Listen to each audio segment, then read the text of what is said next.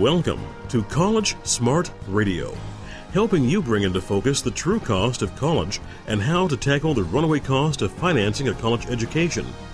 College Smart Radio is hosted by Beatrice Schultz, a certified financial planner and founder of Westface College Planning. Now, here's your host for College Smart Radio, Beatrice Schultz. Welcome to College Smart Radio. Is your teenager ready and eager to take on the responsibilities of being a college student? Going to college can be one of the most exciting times for a young person, and their parents as well. But these days, there are more things to consider than just what Lowett looks like the best place to go in order to continue your education by studying hard and getting good marks. By asking personal questions about your child's ability to conform to a schedule, dealing with assignments, managing their own finances, and even how to face the outside forces that may be confronting them, you'll be better able to make informed decisions that may not only make the college experience more productive and successful, but also a more safe environment. On today's College Smart Radio program, I'm going to discuss the question Is your teenager ready, willing, and able to make the most of the opportunity to go to college? with my guest, Carol Jones, the author of the book Toward College Success is your teenager ready, willing, and able? I'm Beatrice Schultz. Welcome to our weekly show, College Smart Radio, where we help you tackle the runaway costs of a college education. Our show is all about bringing up to date and practical advice to parents who are dealing with the cost of a college education for their kids. With some private schools costing over $60,000 a year today, and a UC costing $35,000, and a California State University running $25,000, people, parents need more help than ever. We bring you that help by sharing ways to pay less, tapping into financial aid, and prioritizing your source of funds to make sure you get through the most expensive years of your life. Based on my own education and experience, I share my insights with you week in and week out. I hold a Bachelor of Science degree in Chemical Engineering and a Master's degree in International Business. I am a certified financial planner and the owner of the San Carlos based college planning business, West Face College Planning. I host workshops and webinars on college planning and consult with parents on a daily basis.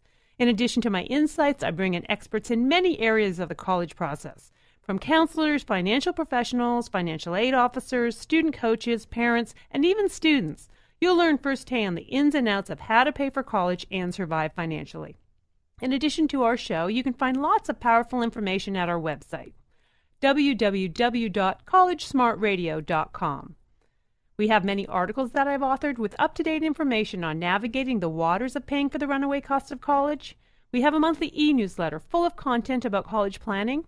We also have posted a glossary of key terms used in the world of college planning, terms like EFC, total cost of attendance, FAFSA, student assets, base year, and so forth. And we have a link to our free community parent workshops and webinars that I host to teach parents about how to pay for college and how the financial aid system really works. So let's get into today's show. Part of the American dream is to send your child off to college after high school. We envision them living in dorms, enjoying the true college experience, learning and growing into adults. The reality is that some children just aren't ready for that independence. Many college students do return home after a semester or two of college, usually because of failing grades, lack of friends, or simply too much partying, and sometimes running out of funds. So, how do parents know if their child is ready to go live on their own? Think about the key skills that an adult needs to do every day. Can your child really survive on their own? And a, a, a few key basic questions are Does your teenager wake himself up in the morning to go to school? Does your teen know how to wash his or her clothes? Do they know, really know how much detergent to add and how to sort? Some teens aren't doing that today.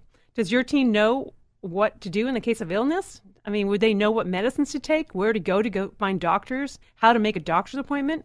Does your teen successfully manage his or own his her own study habits? Does your teen know when and how and not how to or not submit to peer pressure? Does your teen know how to read and navigate a map? And I just don't mean putting it on your iPhone and saying go. Can your teen make teen meals and snacks for himself? Does your teen do chores or do just do work around the house without a reminder? Do you let your teen handle it if he has a problem with his teacher or do you get involved? Does your teen have a checking account or debit card that he or she handles independently? These are just a few of the responsibilities that your child should be taking on well before college, actually during middle school and high school. If you send your child to college and they are not prepared, you are setting them up and yourselves up for a huge financial and emotional expense. So, what can you do? My guest on today's College Smart Radio show is Carol Jones. Carol is a freelance writer and editor and the owner of an editorial services business that includes coaching secondary and college students in writing. Carol blogs weekly on the topic of college readiness and is a regular contributor to the Total Education Network syndicated radio program. She speaks at area schools and co writes a column for a local newspaper in Colorado. Carol is also the author of the book, Toward College Success Is Your Teenager Ready, Willing, and Able? Her book is written for parents of middle and high school students to help them evaluate and prepare their teenager for a successful college experience, or perhaps to make the decision that going straight to college after high school is not the right path for their child. Carol's joining us from Fort Collins, Colorado. Hi, Carol. Welcome to College Smart Radio. Hello, Beatrice. I really appreciate you having me on your program. Well, thanks so much for joining us. I want to start by asking you to share a little bit about your background and how you came to write this book or become an expert in this field. Okay. Um, well, my background is journalism, and um, this book is actually co-written, and it that has a sad story to it because my co-writer um, passed away right as we were finishing the first draft of the book. That was very unexpected. But the way I got into this book actually had to do with my co-author. She was a professor at the University of Northern Colorado, and she became very frustrated over the years watching her students come to class and fail for all kinds of reasons other than academic reasons. I mean, academic reasons definitely were were some students' problems, but she saw all she just basically saw that these kids were simply not ready to succeed in their new living and learning environment of the college experience. And so she wanted to write a book for parents about this and she called me up because she knew that I worked in area high schools as a writing coach and as a compositional aid to teachers and she knew I had the experience of working at the high school level while she had the experience of working in the college level Plus, we both had kids who were nearing college age, and we she asked me to come on board with her, and I jumped into it immediately because I thought it was such a great topic, and because I know so many parents don't think about all of the things that their kids are going to need to be successful once they leave high school. So we got busy on it, doing lots of um, interviews and with parents, with students, with school administrators, teachers, law enforcement officers, uh, you name it. If it had something to do with raising kids and getting them to college, we interviewed them. And so the book is full of, of uh, some of those real life stories from uh, from all of those people, uh, with the names changed to protect the guilty, as I like to say. and um, and it uh, and at the end of each chapter is a set of uh, scenarios that parents can relate to with you know kind of a typical problem you might be having and then a solution that will teach them some of these skills that they need to have when they leave home well, Carol, I know that one of your chapters is about teaching teenagers how to manage their money, and I'd like to talk about that. But at first, and I think we're going to focus most of the show on those that topic, just because this is a cost show. But I'll tell you, a big uh, everyone in the audience and you know this also the cost is not just about managing money but it's about making the choices about where to go and the choices about college and the academic choices because it costs more money if you go there and you don't graduate and it costs more money if you take longer than 4 years to graduate we know that there's so many emotional and actual expenses involved in not being prepared for college. So maybe we can start by talking about the key areas that you that you find most parents are kind of gleam onto when you talk to them about, or maybe your key chapters in your book? Uh, well, I think you did a great job in the introduction. You seem to uh, talk about almost everything that's in my book. Um, I the thing that I like to tell parents is that you know, well, one of the things, the questions I ask them is, what does it take to be successful in college? And the most common answer is you've got to have academic skills, and of course that is absolutely correct. And I do discuss academic skills in this book.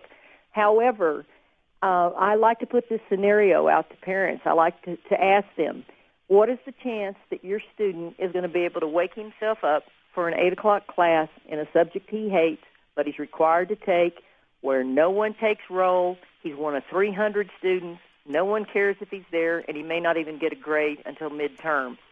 That scenario pretty much sums up the fact that the simple act of getting up and getting to class is something that can totally trip up a student if they don't have that skill, that dedication, that motivation, that maturity it takes to do that. And so with that in mind, there's all kinds of other things. There's there's and you named them all in the beginning. There's conflict management. An awful lot of kids when they go away to school for the first time and live in that dorm, that's the first time they've ever shared a room with a with a roommate. And no matter how well they may get along with that person, conflicts will arise. And it's however your teenager has learned to deal with conflicts when they're at home. Are you taking care of them for them? Or are they, have you taught them to, to face their conflict, not to text it away or, or Facebook it away, but to actually face it and come up with a reasonable uh, solution that is that you um, come to in a peace, peaceful way, so that there's not a bunch of yelling and screaming. So, Those Carol, are the skills that they've got to have. So, Carol, what kind of guidance are you giving to the parents who are listening to the show right now and saying, "Eek! I woke up my son to go to school today. He looked like he was going to sleep in. I walked in and I shook him, and he woke up through, up through his alarm. But I went back up and woke him up, and I yelled at him up the stairs. I mean, what's? I mean, you know that that exists. So, what kind of what, what, what do you say to those parents? I mean, what, what are the treats or skills you want to show them, Well, or recommend that you they do? These are the steps that I think are so hard for parents to take because if they don't scream and yell at that kid and get him up and get him out the door, he's going to be late for school. He can get penalized and all these other things in class. And of course, we don't want our kids to fail at anything, and so we don't want that to happen to them. But now is the time to do that. And and if you if if you don't know as a parent what penalties your school gives out for your student being late or for uh, missing a class entirely, you should call and find out what that is. Let the school handle that. Tell your student, say, okay, this is it. I'm done waking you up. Uh, you can have, you know, however many alarm clocks you need, but I'm done waking you up. This is your responsibility, and you've got to do it. And if you don't make it to school, you are going to have these penalties at schools. And Hey, Carol, I apologize. I'm going to I'm going to interrupt you right now because we're going to take a quick break. I'm with you, where our guest today is Carol, the author, the co-author of the book "Toward College Success: Is Your Teenager Ready, Willing, and Able?" We'll be right back on College Smart Radio. For more information on today's topic, visit collegesmartradio.com or call area code 650-587-1559. College Smart Radio continues in moments on AM 1220 KDOW. Contact Beatrice Schultz at collegesmartradio.com or call area code 650-587-1559. Now, back to College Smart Radio with your host Beatrice Schultz on AM 1220 KDOW. Welcome back to College Smart Radio, where we help you tackle the runaway costs of college. I'm Beatrice Schultz. I'm talking with my guest, Carol Jones, who's a co author of the book, Toward College Success Is Your Teenager Ready, Willing, and Able? We all know that college is expensive and will most likely be some of the most costly years for a family. Understanding how to navigate the college costs and save everywhere you can is a smart thing to know. Making the best college choice is one of those smart things, and making the choice about whether college is right for your student. To help families be on this radio show, I host community workshops, live and via webinar, several times a month that explain the costs of various colleges, how the financial aid system works, and answers to your three key college cost questions. How much will college cost me? Can I do anything to reduce the cost? And how will we pay the amount we're going to need to pay? You can find my workshop schedule and register at collegesmartradio.com. Carol, we were just talking about uh, some of the chapters in your book about the topics of teaching teenagers or, or having t- checking to see if your teenagers prepared for college. And I know in your book you talk about the fact that not all teenagers should go to college or are prepared. I thought you I wanted you to share a little bit of your ideas or your learnings on that. Yeah, that's uh, that's a main point I like to make to parents when I speak, um, and it's it's not too hard to imagine if you think about it. How many 18-year-olds really know what they want to do for the rest of their lives? And it doesn't matter if this is a kid who's made straight A's all through school. Some kids also just need some time off. They're just not ready to go straight into college. And every parent will understand that forcing a kid to go to college when they're not ready is definitely flushing money down the toilet. So what I like to tell parents is that you need to have a very serious talk with your student and find out what really are their ideas about what they're going to do after high school. They may not want to go to college right away. That scares a lot of parents to death. They think they'll never they'll never go if they don't go straight away, and that sometimes happens. But a lot of times if kids take what I call gap time, which is also known as gap year, it's just that it doesn't have to be a year, it can be any period of time they often go away, have experiences, learn about themselves, mature, and come back much more prepared to go to school. In fact, I've never heard of a kid who's taken any kind of a gap gap year time um, that regretted it, that it didn't actually benefit them. And in gap, as I say, gap time, it can be any period of time between high school and college or in between college semesters, um, just any period of time. It doesn't have to be a year. And there's all kinds of of uh, gap year programs. If you go online and Google gap year, you'll get a zillion things that come up. I will warn parents that some of those things are extremely costly, as much as uh, going to college. but there is one uh, one really nice um, alternative to that is AmeriCorps, which is like um, a domestic Peace Corps, and kids actually earn a stipend. They go all over the United States doing community service type work, and they can actually earn money toward college if they meet the right criteria or you can make one up yourself. My husband and I did that with our two boys. We, my husband had a colleague from Peru, and our sons ended up working with a conservation organization in Peru there that we set up ourselves. So there's lots, lots of alternatives that way. And then, and then there's all kinds of other things. There's apprenticeships. There's uh, vocational schools. The thing is, some of those, you know, not every kid is ready to go to a four-year college, and so maybe what they really want is something that they can earn a skill or certification where they can come out ready to earn some money. And and it can be in anything. It can be in welding or electronics. It can be culinary arts. It can there's all kinds of things out there. It's just looking into those programs. And then the military is always a good option. And um, and then I also like to tell parents that one of the quickest ways for kids to get to college is if they come out of high school and all they do is go get a job. Because as we know, most high school graduates are not going to earn very much money and they're not going to have very exciting jobs and it usually doesn't take them very long before they decide mm, this isn't for me there's got to be something else out there but the main point is to listen to your child what they want what they're expecting and then help them find that path to success I think I see that with so many of my students that come in after they've done a gap year, or I'm talking to them while they're on their gap year. And these are kids who may be traveling or part of an international program who are still overseas and applying to colleges because they know they're ready to go. They're doing I, what I see is a lot of those kids are doing a lot more of the work than the typical high school students that's at home with their guidance counselor and mom and dad doing a lot of the work. So I think that gap year can be a good fit for every range of students. I mean, for some, some it will be, some will be ready to go, but for many, those that don't know if they want to go to college, but even those that know that they do, but they just feel like they want to gain some other skills before, it also can help you get into the colleges sometimes if those experiences are if it's part of something that you're growing or adding more to your extra extracurricular profile as we oh yeah it. i think colleges really uh, understand the value of kids taking a gap year time and and a lot of things uh, a lot of schools will actually give you a deferment if you're enrolled in a um, it, it probably has to be some kind of um, uh, organized gap year program whether you do it yourself or it's one of these things you get into but that's worth looking into. If your student has some schools that they're really interested in, call those schools and find out if they offer that, if they offer a deferment, because then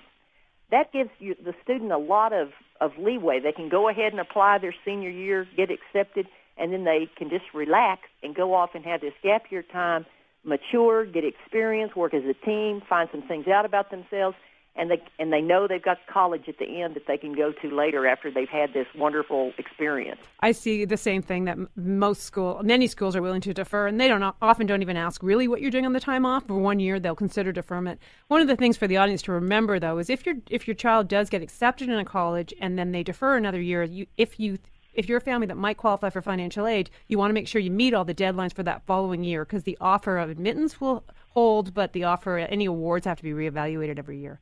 Yes, that's a very important thing to remember. Well, Carol, since we're talking, um, well, one of the chapters that I was very intrigued with is your teaching te- teenagers how to manage their money or prep- prepping for them for college. Do you want to go through a couple of the key points there that you'd like the audience to really this is an area that you truly can be teaching your your child some fiscal responsibility. So I, I kind of wouldn't mind going through some of those points with you. Well, I think you could start teaching your kids fiscal responsibility as young as age four or five. Yeah, giving them, giving them if you and if you go on a little trip, you give them a budget. You're on a budget when you go on a trip, so give them a budget and let them know. I mean, of course, you're going to have to guide them and help them, but as they get older and you start doing allowances and they become teenagers, then you start getting very specific. You really put them on a budget. You sit down and very clearly think out what am I going to pay for and what do I want this this uh, teenager to be responsible for.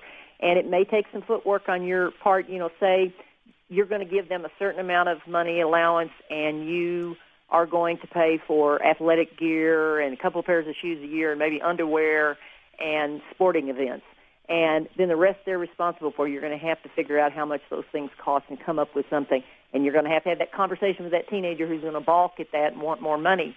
And then you, um, you know, help them uh, work on that budget. You're going to probably have to, you know, do some alterations with it as time goes by and you see how it's working. But uh, that is that is one of the best steps you can do because then when they go to college, they already know how to live on a budget, and they're going to have to live on a budget in college.